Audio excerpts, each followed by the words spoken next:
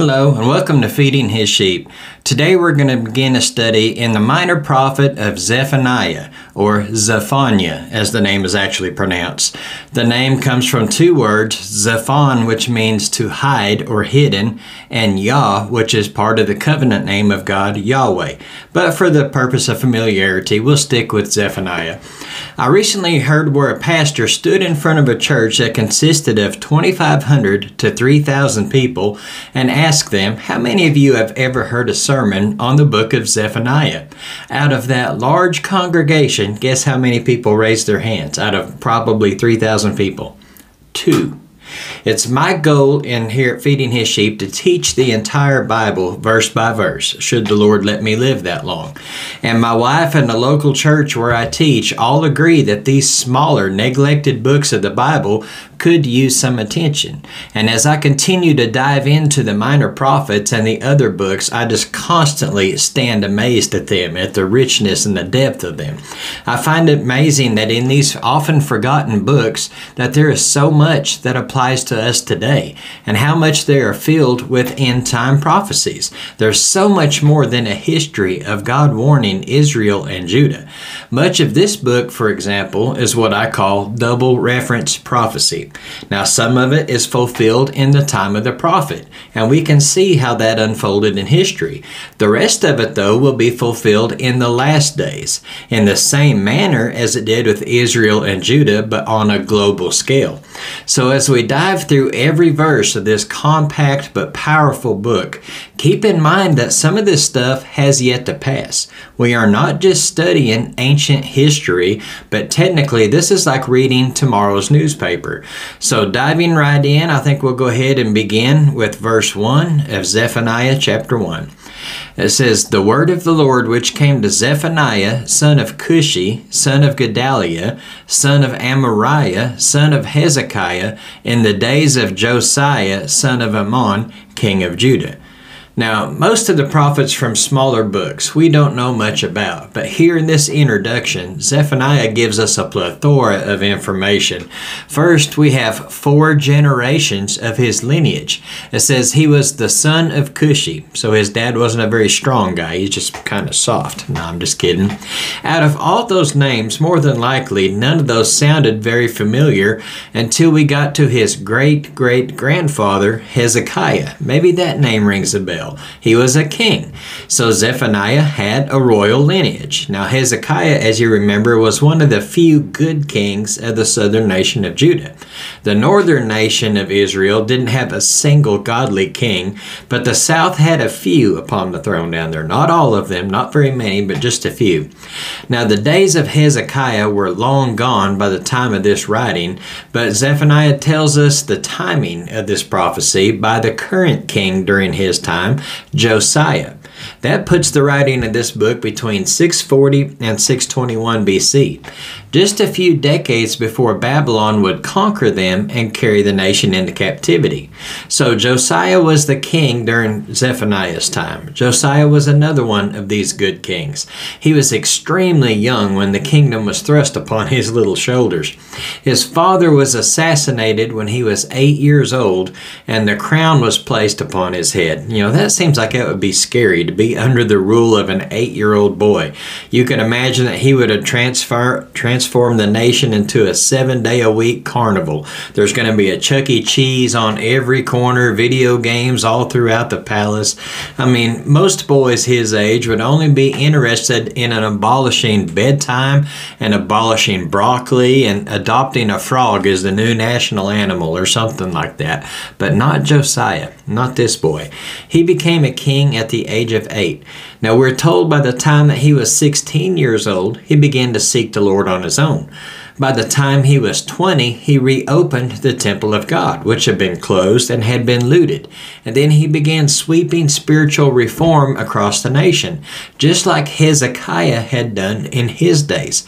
So that gives us not only the timing, which is right before the exile, but it also sets the scene for us. There would be one last revival in the land before judgment came. This young king had been busy ridding the land of all the idols and commanding the people to turn to the Lord, and that is where Zephaniah comes in, as God sends him throughout the land to rebuke the nation for its sin and to help Josiah set the people on the right track again. So we have the introduction to who Zephaniah is and what his purpose is. Now let's see his message that he has from God in verses 2 and 3. I will completely remove all things from the face of the earth, declares the Lord. I will remove man and beast. I will remove the birds of the sky and the fish of the sea and the ruins along with the wicked. And I will cut off man from the face of the earth, declares the Lord. Wow. Right off the bat, the message from God begins with a strong judgment that is coming. But because He is a God of mercy, He is extending warning after warning to these people. At the same time Zephaniah is prophesying, Jeremiah is doing the same thing. God wants the people to repent of their sins, but if they refuse to do so, He tells them honestly and bluntly what is going to happen. Now remember, I said this is a double reference prophecy. It was fulfilled partially when Babylon overthrew Jerusalem, but it also points to the Great Tribulation mentioned in the book of Revelation. Prophecy concerning the future last days is not limited to just the book of Revelation, but it can be found scattered throughout all of the Bible, mainly in these neglected smaller books. So it begins by telling the story of the earth being made bare in verse 2. It happened to the local area of Judah several times. You know, as Babylon took over, not only did they take all the people out and relocate them, but they stripped the land of any and all forestation, of any tree life. The same thing happened when Rome took over. Rome cut down the majority of the trees that were there for building projects, for making crosses, and many other things, you know, leaving the land a desolate wasteland behind them. But verse 2 goes far beyond judgment on Judah and Israel. It said the entire face of the earth. Just like when you wipe a dish clean, God is going to wipe the face of the earth clean after the tribulation. Now, if you've studied the tribulation, you're going to read about multiple earthquakes happening and these bowl judgments that's going to send hail and fire and all of these other things upon the earth. And it seems as if in every other chapter, it's a third of the veg- vegetation that's wiped out, a third of the wildlife is exterminated from both the land and the sea by these judgment. Verse 3 backs that up that we we just read here in Zephaniah birds, animals, fish, even mankind, kind of like when the flood cleansed the earth and the judgment in Genesis chapter 6. We'll get more into this aspect of judgment as we approach chapter 3 of this book. That's when the nations gather together to battle against the Lord and the remnant that, that believe and are wiped out by Christ as he returns and eliminates all those who oppose him. So let's continue on in verses 4 and 5 of Zephaniah 1. So I will stretch out my hand against Judah and against all the inhabitants of Jerusalem. I will cut off the remnant of Baal from this place, and the names of the idolatrous priest along with the priest, and those who bow down on the housetops to the host of heaven, and those who bow down and swear to the Lord and yet swear by Milcom. So we have here the first of two reasons why Judah is coming under judgment idol worship. We see the name Baal or Baal a lot in the Old Testament, but it's actually a name given to multiple kinds of false gods in the land that the people worshiped. Baal actually means Lord or owner. This was a title that was commonly assigned to many of the fertility gods and the idols that the Canaanites had and that they worshipped, and the Israelites kept them after the Canaanites were gone. Another one of those mentioned was Milcom. Well, maybe your Bible translation, if you're following along at home, gives the name Malcham or Molech. It's the same thing Milcam, Malcom, Molech. The false god was often worshipped by child sacrifice. Scripture says they made their children pass through the fire, which when I first read that on my first read through the Bible years ago, I thought, well, they're just jumping through a campfire as some sort of ritual. No, we're talking about sacrificing them. They would burn their babies, they would burn their children, sacrificing them to this idol. Now, we might sit here in modern times and say this is absolutely horrendous, but it still goes on today in other form. Today, children and infants are sacrificed not to Milcom, but to the God of convenience. To the God of reputation. They are aborted because they don't want the hassle of raising a child or the embarrassment that's coming with an unplanned pregnancy. And people around the globe choose to simply end the life of a baby. Since 1973, over 63 million babies have been aborted in the United States alone. Don't tell me that child sacrifice ended in the days of Molech. Now, we may not worship idols made of wood and stone and metal today, but idols are still present. They just become more sophisticated as time passes by. What about the idol of technology? Now, technology can be a good thing, but like almost anything, it can also become an idol if you let it. With technology, we can communicate with people around the globe. I have a friend in Turkey that I got to speak to on a video call recently, and a friend from South Africa in the same week. I mean, this kind of communication would be extremely expensive, if not impossible, you know, generations ago. So we have we can communicate with people around the globe. We can access a wealth of of information within seconds. You know, I almost feel sorry for the door to door encyclopedia salesman. You know, Google has made encyclopedias obsolete, but I miss those things. I miss the smell of the old books and the excitement of turning to find something and then you find something else and you just learn so much. You know, my computer that I use at home has multiple Bible translations that allow me to do a side by side or parallel comparison just in seconds rather than having to have multiple books out. So technology can be a convenience. Technology on the computer helps me search the root meaning of certain words. We can also access teachings from most Bible teachers and preachers from around the globe. We can listen to archived messages. We can listen to messages from pastors such as Adrian Rogers, who has passed away years ago, or J. Vernon McGee, who has done the same. I think he went to be with the Lord in 1987. Or more recently, recently in the last few days Charles Stanley, who is a pastor that I grew up listening to. Well, I say grew up, after I become a Christian, I learned so much from him in my early days of my faith, but I can still listen to all of his past messages. Even though the messenger has gone on to be with the Lord, the message continues, thanks to the aid of technology. So the internet can be a good thing, as most technology can be, but when we buy the latest gadgets and then proceed to completely ignore God as we immerse ourselves in this technology, it becomes an idol. Someone once said, Look at the back of half of the phones, and you're going to see an apple with a bite taken out of it, just like in the Garden of Eden. Now, the Bible never calls that fruit an apple, but I can see the point that that pastor tried to make. Anything that we place in higher priority over God can be an idol. It can be anything. It can be a relationship, it can be a car, it can be a hobby, it can be a musical instrument. Anything that you place higher priority over than God in your life becomes an idol. We must be careful to keep things like that in check. Keep God number one in your life. Or as Greg Laurie is famous for saying, the main thing is to keep the main thing the main thing. Let's continue on in Zephaniah 1 and get verse 6 and those who have turned back from following the Lord, and those who have not sought the Lord or inquired of Him. So, a minute ago, we looked at sin number one that Judah was in trouble over and why judgment was coming idolatry. Here is sin number two that the nation of Judah was warned to repent of, and it's one that we also need to heed today, just like ridding ourselves of idols.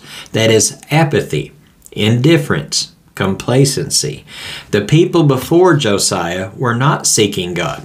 The temple had been closed for years. But before we condemn the people of that time for allowing it to happen, allowing God's temple to be closed, look at the apostasy of our own nation. Church attendance is down. Conversions are down. Missions are understaffed and underfunded. And God's Word is being watered down on television and on the radio, and people just don't seem to care anymore. One of the things that sometimes draws people back to God is tragedy. I remember when our country was attacked by terrorists on September 11th, more than 20 years ago. I remember seeing churches filled to capacity within the following weeks. People were hurting, people were scared, people People sought answers, they sought comfort. People sought the Lord. But in the weeks to come, attendance and membership soon dwindled and went back to their previous places. Once things were going good, people tend to forget about God. But when trouble arises, guess what? They call out to the God that they have neglected. So God's warning these people through his prophets that he is about to allow calamity to strike them. He's going to get their attention one way or another. Now, this prophecy also travels through the ages and into the future. That is the purpose of the Great Tribulation to get the attention of Israel, who has rejected the Messiah largely. It's referenced in Scripture as the time of Jacob's trouble. So, this nation will eventually wake up and realize that they have rejected him and they will turn to him. Now, not likely the entire population, but I'm sure a large portion will. And there's always going to be a remnant that's preserved through judgment. This is also predicted in the book of Zechariah and is closely connected with the Battle of Armageddon, in which the Lord will destroy all the nations who oppose the Lord during the tribulation. In Zechariah chapter 12, verses 9 and 10, it says, And in that day I will set about to destroy all the nations that come against Jerusalem. I will pour out on the house of David and on the inhabitants of Jerusalem the spirit of grace and supplication, so that they will look on me whom they have pierced, and they will mourn for him, as one mourns for an only son, and they will weep bitterly over him, like a bitter weeping over a firstborn. On that day, complacency will be a thing of the past. It will have ended. Let's go on into verses 7 through 11 of Zephaniah. Be silent before the Lord God, for the day of the Lord is near. For the Lord has prepared a sacrifice, He has consecrated His guests. Then it will come about on the day of the Lord's sacrifice that I will punish the princes, the king's sons, and all who clothe themselves with foreign garments. And I will punish on that day all who leap on the temple threshold, who fill the house of their Lord with violence and deceit. On that day, declares the Lord, there will be the sound of a cry from the fish gate, a wail from the second quarter, and a loud crash from the hills. Wail, O inhabitants of the mortar, for all the people of Canaan will be silenced. All who weigh out silver will be cut off. So, this phrase, the day of the Lord, that has a dual reference. Both the time that Babylon becomes a tool of judgment upon Judah, and also during the Great Tribulation. That's also known as the day of the Lord. Now, here where it said the Lord has prepared a sacrifice, He has consecrated His guests.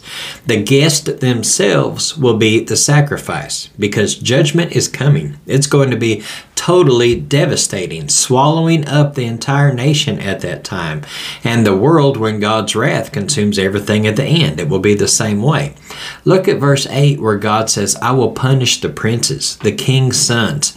This actually come to pass, and you can find this account in 2 Kings chapter 25, beginning in verse 5. But the army of the Chaldeans pursued the king and overtook him in the plains of Jericho, and all his army was scattered from him. Then they captured the king and brought, brought him to the king of Babylon at Riblah, and he passed sentence on him. They slaughtered the sons of Zedekiah before his eyes, then put out the eyes of Zedekiah and bound him with bronze fetters and brought him to Babylon. You know, that's just terrible. The last thing that that king saw before his eyes was taken was the slaughter of his sons. Exactly what was predicted here in this book just a few decades before it happened. Then verse 9 had this strange phrase about leaping on the threshold. That one took a little research. I've heard a lot of people just simply say, we don't know what it means when it talks about leaping upon the threshold. But you know, I, I love chasing rabbits when doing a study. I think of them as a side quest when preparing a study. So uh, to get to the meaning of jumping on the thresholds, we got to begin with the context in which it was spoken. What had just happened? God had declared judgment on them because of idolatry. There was actually a custom that began with the Philistines, with one of these false idols, one of these false deities that they worshiped. This is found in 1 Samuel chapter 5, and the setting is the Philistines had just stolen the Ark of the Covenant. In 1 Samuel 5, starting in verse 2, it says, Then the Philistines took the Ark of God and brought it to the house of Dagon and set it by Dagon. When the Ashdodites arose early early the next morning, behold, Dagon had fallen on his face to the ground before the ark of the Lord. So they took Dagon and set him in his place again. But when they arose early the next morning, behold, Dagon had fallen on his face to the ground before the ark of the Lord, and the head of Dagon and both the palms of his hands were cut off on the threshold. Only the trunk of Dagon was left of him. Therefore, neither the priest of Dagon nor all who entered Dagon's house tread on the threshold of Dagon in Ashdod to this day. So thus began the practice, the superstition of jumping over the threshold. Apparently, some of the people had carried this superstition into Judaism and done the same things when the temple was still open. Kind of like in our childhood, where we made a habit out of not stepping on a crack in a sidewalk or not walking under ladders or any other of these superstitions that people have. It was a pagan superstition that the people of Judah had adopted that originated with the Philistines. Philistines. Now, one more detail I want us to look at before moving on. That is the phrase that verse 11 began with Wail, O inhabitants of the mortar. Now, your translation instead of mortar may say Maktesh. Either one, it's the same thing. It refers to this small valley that's outside of Jerusalem. It's alongside of the temple, and some people used to set up there. Some vendors used to set up and sell things. In the remains of that area today, there's a piece of the original structure from that time time that is left. The very place that God said, Wail, O inhabitants, that place is known today as the Wailing Wall. That's a popular place that people visit every day. Is that a coincidence? Uh, you be the judge of that. Let's go ahead and go on to verse 12. It will come about at that time that I will search Jerusalem with lamps, and I will punish the men who are stagnant in spirit, who say in their hearts, The Lord will not do good or evil. That phrase that the Lord used is very descriptive stagnant in spirit. When I hear the word stagnant, I usually think of a puddle of water in a dry riverbed, you know, something in the low bottomlands. That water usually has a slimy coating on the top. It's kind of like a lime green or a pea green, and it's just usually disgusting. And if something stirs that water, if you throw a rock in it or an animal runs through it, there's that pungent smell that hits your nose and it just makes you want to gag.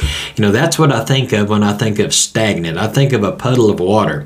That is the way that these people who were spiritually indifferent appeared to the Lord repulsive, stinky, undesirable, useless. You know, water like that isn't very desirable, and neither is a person who is spiritually stagnant.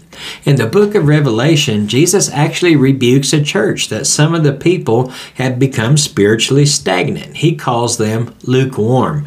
A modern definition would be what we call people who ride the fence. You know, they're they're between believing enough to repent and flat out rejecting Christ. They're trying to find a middle middle ground. But Jesus makes it clear that there is no middle ground.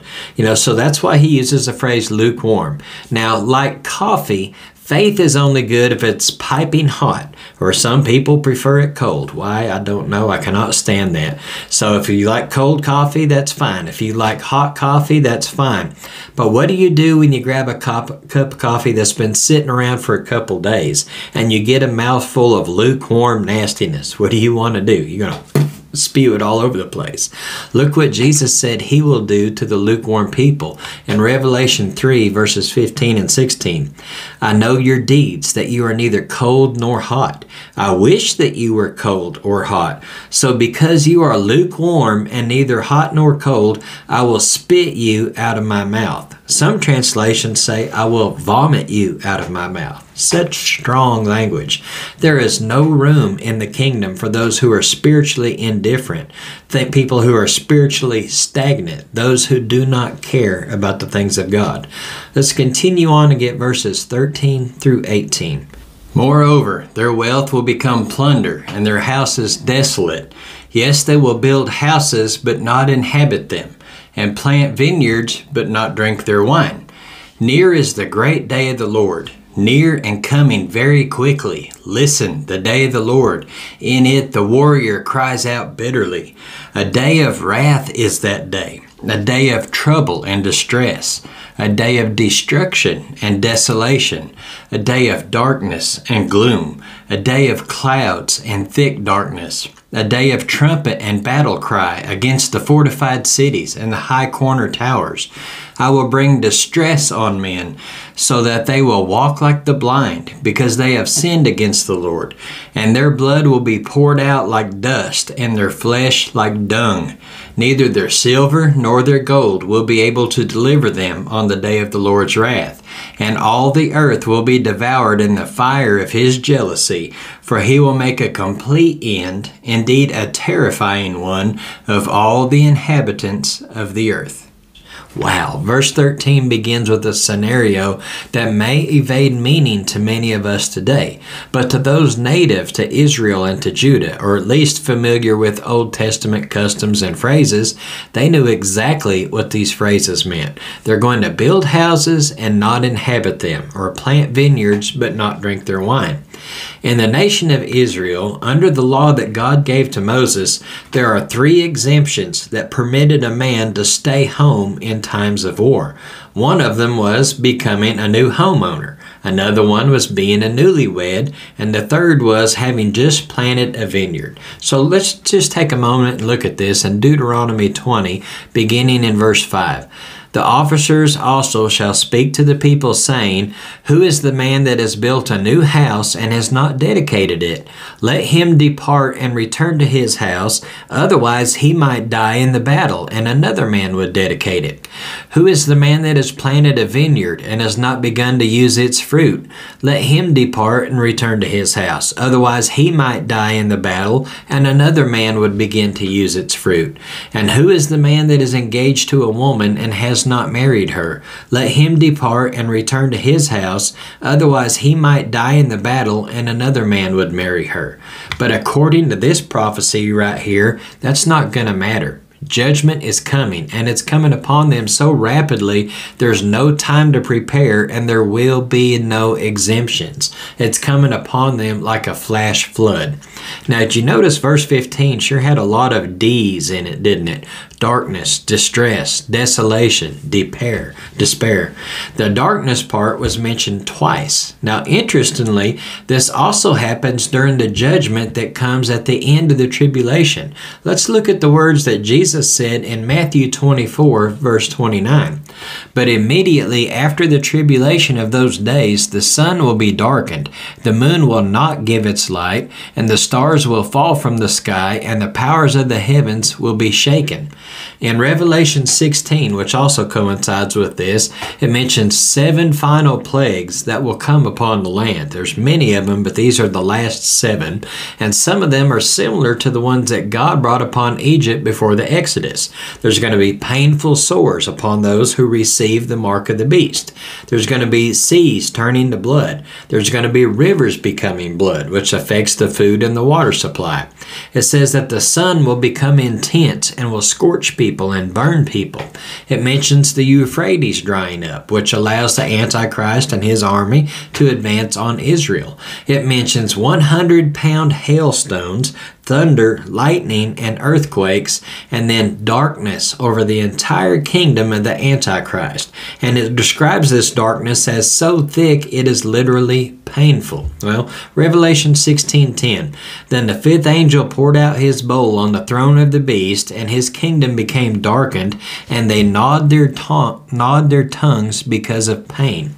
Now, people will look at passages like we just read here in chapter 1 and say, How can a God of love do this? How can he bring such destruction upon people? Well, God has always, always been more than fair. Here he is warning the nation for the umpteenth time, almost a quarter century before it comes to pass. Now, whether or not they heed the warning is upon them, but they were warned. The same goes for all of us today. The day of the Lord is coming. You know, not the past one concerning Babylon, but the future great tribulation. And even if that happens far into the future, you're still going to have to face the Lord when you close your eyes in death and wake up in His presence for judgment. So He's been warning us through both the Old Testament and the New Testament that the day is coming. We've had thousands of years to heed all of these warnings. He is not willing that any should perish, but that people should repent repent and follow Him. But every single day passes by until then, many more people are making the decision to ignore God to ignore his warnings. People today don't want to hear about judgment. They don't want to give up their favorite sins. You know, they want to hear all the good things about heaven and about love. Don't speak to us about hell, fire, and brimstone. That's old fashioned, you know. But they just don't want to hear about judgment. They don't want to give up their sins. And God, being the perfect gentleman, will honor their wishes. He's not going to enforce himself upon anyone. And if they're not thrilled with assembling with other believers and worship worshiping God here on earth, they're not going to like it doing it in eternity either. But they will definitely not be able to say that God didn't warn them. They will not be able to stand before God and say, I didn't know, because they knew. He gave them warning after warning, sermon after sermon, and that Bible sat right there unread, untouched all of these years. He cannot say to they cannot say to God that we didn't know. We can't say that God did not warn us.